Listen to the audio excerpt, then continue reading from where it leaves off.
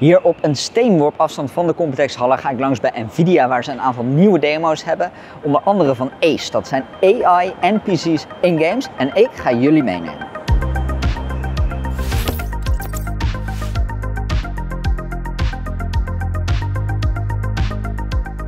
Hier hebben ze een demo staan van Nvidia Ace met de AI-engine van InWorld erin. En wat is er nou bijzonder aan? Een deel van het model werkt lokaal en een ander deel van het model werkt in de cloud. Dus het deel met de speech-to-text, dus de herkenning van spraak en de maken van de bewegingen van de mond van de karakters in de game, dat wordt lokaal op de videokaart gedaan, dus met bijna geen latency.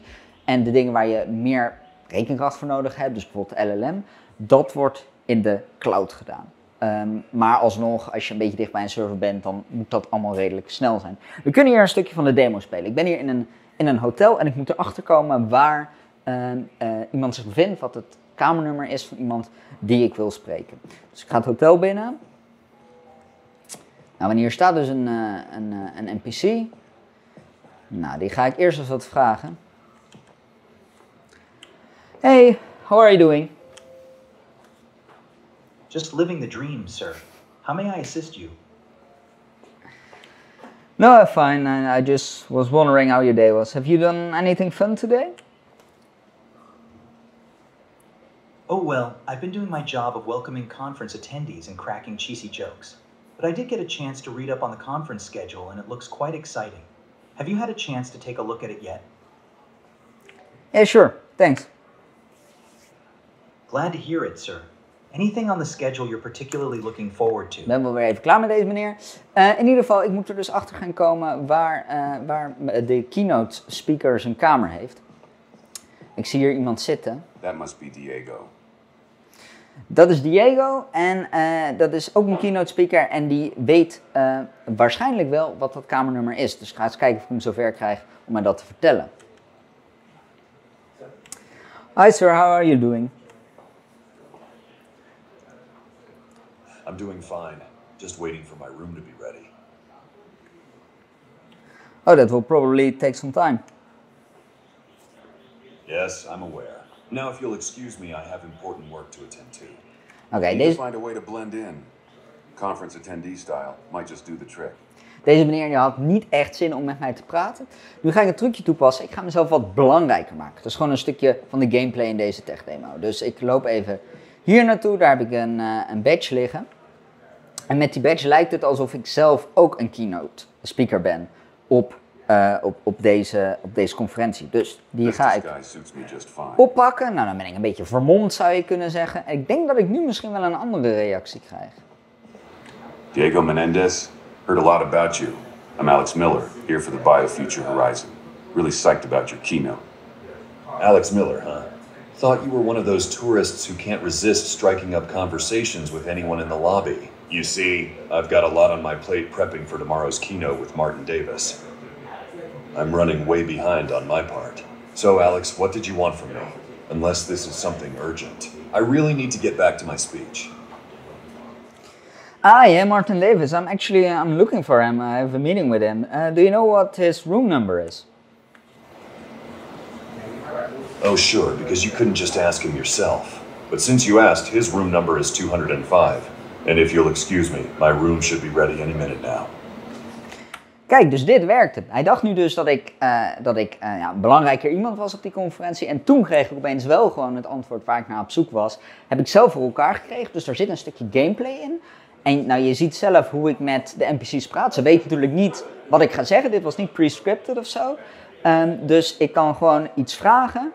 Uh, ik krijg daar echt binnen nou, een paar seconden weten die wachttijd best goed te verbloemen met wat animaties en zo. En, en wat natuurlijk gedrag, om het zo maar te zeggen. Ik krijg best wel snel antwoord. En op die manier kun je dus eigenlijk een soort van, ja, bijna een soort multiplayer ervaring krijgen in een single player game, waarbij je echt zelf invloed hebt. En um, de NPC's veel diepergaande backstories hebben dan in het echt. Hoe werkt dit nou aan de achterkant? Nou, ik zei al, een deel gebeurt lokaal en een deel gebeurt in de cloud. En het cloud gedeelte, daarvoor heeft uh, de game developer, of in dit geval de maker van de demo, die heeft alle karakters van de game, hebben ze alvast uh, in, um, in, in hun achterliggende systeem gezet. In het, in het model, zoals je wil. Dus dit zijn al die mensen die we tegen zijn gekomen. Hier is die Diego waar ik net mee heb zitten praten.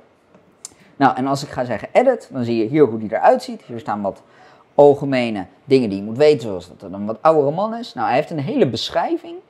Hij heeft motivaties. Hij heeft, nou, toch ook wel zwaktes die, uh, die ingevuld zijn. En er staat ook iets over zijn stijl van praten. Hij zegt, nou, hij is een beetje uh, kort van stof. Hij is ook een beetje nou, snel ge geagiteerd, zou je kunnen zeggen. Nou, dat hebben we net wel gemerkt natuurlijk in zijn antwoorden. Hij geeft korte antwoorden. Nou, dat hebben we gezien. Uh, en um, hier staat ook zijn, uh, zijn stem geselecteerd. Er zijn hier nog wat extra dingen bij de advanced settings. Daar kan ik helemaal instellen hoe hij op mij reageert met allemaal sliders. Is hij grappig? Is hij verdrietig? Is hij bozig? Is hij extrovert of introvert? Het zijn allemaal sliders waar je in kunt trekken, waardoor je echt het, personage van een NPC anders kunt maken. je kunt je straks voorstellen dat dit zijn natuurlijk heel gedetailleerde per personages. Stel je voor dat je een game hebt met heel veel NPC's die wat meer willekeurig zijn. Ja, dan kun je hier natuurlijk ook gewoon ja, wat willekeurige dingen in laten zetten. Zodat iedere NPC toch weer op zijn eigen unieke manier reageert. Ondanks dat ze niet zo'n enorme backstory hebben als deze voorbeelden. Uh, nou, er kun nog veel meer instellen. Dit gaat nog veel verder. Maar dit is maar even een tech demo om te laten zien wat er mogelijk is in een game. Als ze uh, nou ja, in, in een game dit soort technologie zouden integreren. En je dus tegen alle karakters in een game gewoon zelf met je eigen stem een gesprek kan voeren.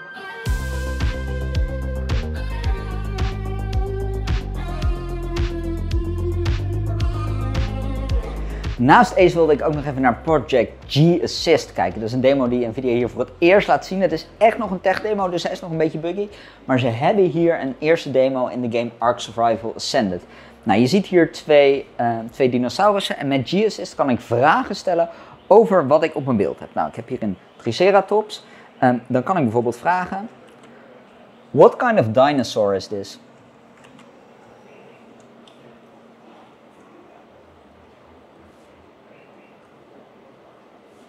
The dinosaur in front of you is a triceratops. Nou, hij weet dus dat dit een triceratops is. Super cool, want hij heeft dus wat achtergrondinformatie over de game. Dus hij kent de modellen in de game en hij ziet wat er op het beeld is. En dan genereert hij daar een antwoord bij. En wederom, net als die allereerste demo die ik liet zien, een deel hiervan werkt lokaal. Uh, bijvoorbeeld um, de, de speech-to-text, uh, het herkennen van mijn stem. Deel daarvan, het LLM, dat werkt wel nog in de cloud. Je zou kunnen kijken naar een kleiner taalmodel wat wel lokaal kan draaien. Nou, hierdoor heb je dus wel iets meer latency dan bij iets wat volledig lokaal draait. Um, ik kan echt alles vragen over wat op mijn scherm is. Ik kan bijvoorbeeld de event inventory openen. En dan vraag ik... Could you give some suggestions for things to craft from the items in my inventory?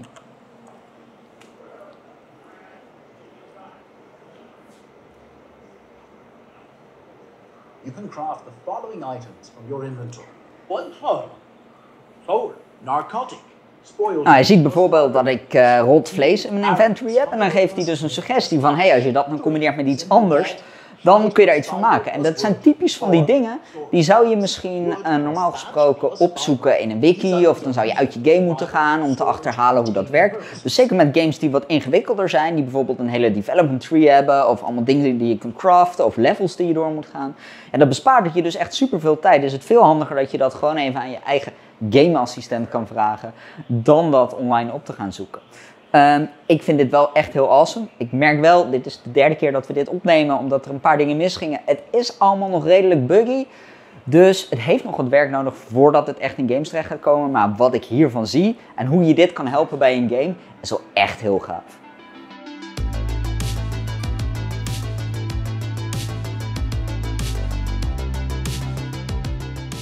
Ik weet niet hoe het met jullie zit, maar ik vind deze demo's toch wel echt vet. En het gaat hier natuurlijk heel veel over AI. En, en ik lees ook wel de comments en ik zie dat die best wel sceptisch zijn soms. Ja, ik wil helemaal geen AI en het kost allemaal die space en ik wil gewoon snellere CPU, snellere GPU.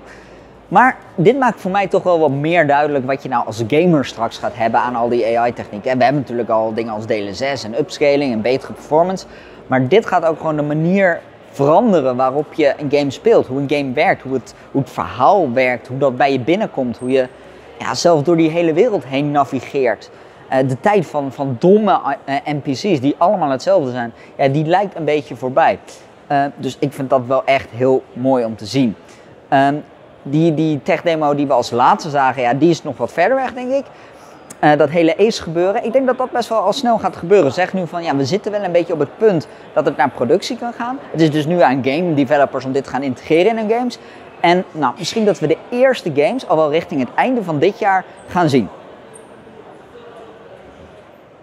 Vond je het tof om te zien hoe wij hier op een beurs als Computex naar al die vette tech-demo's van nieuwe technologie te zien krijgen, dat je daarbij mee kon kijken? Doe dan even een duimpje omhoog op deze video. En laat even weten in de comments wat jij nou denkt over deze features. Hebben deze features jouw gedachten over AI veranderd? Was je misschien sceptisch? Ben je nu weer positiever over nou, wat het voor jou als gamer kan betekenen? Laat het even weten.